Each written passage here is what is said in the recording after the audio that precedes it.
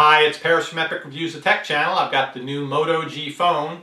Now, if you have messed things up in setting this up in terms of installing apps that are causing problems, you can't uninstall the app or things have just gotten too bad, you want to wipe it out and start fresh. Maybe you're going to give it to someone else to use. If you can get into the software of the phone, there's a way that you can do that factory reset right from inside here. Let me show you how.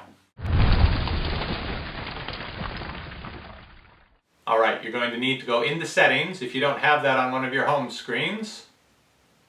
Go in here, go to settings, go through the list until you get to backup and reset.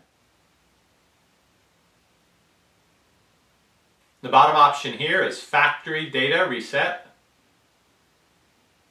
And this screen warns you that this will delete everything on your phone. All of your Google accounts, your email, your photos, your music. It'll all be gone, so make sure this is what you want to do. You can't get stuff back.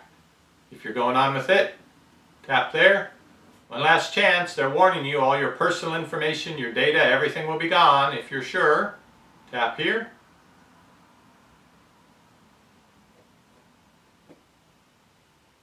It restarts.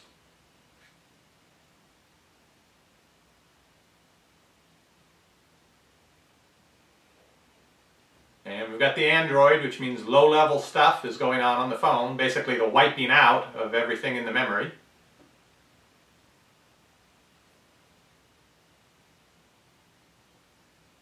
Another restart.